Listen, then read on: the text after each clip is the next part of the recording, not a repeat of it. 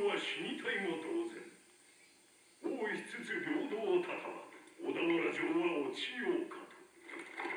長人となれば士気は下がり狼藉を働く者も出る。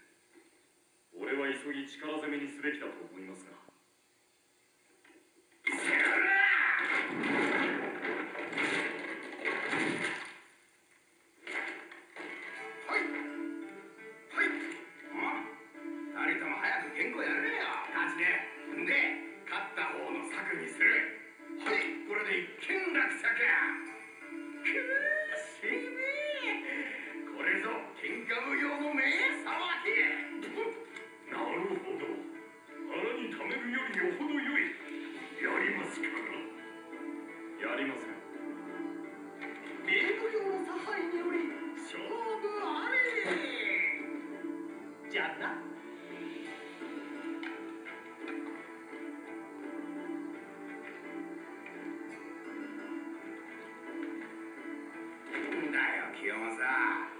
兄貴もこりゃよかったじゃんかよガキの喧嘩に。付き合えるかバカ入れた。大人はげてめえも頭でっかつかんきてろ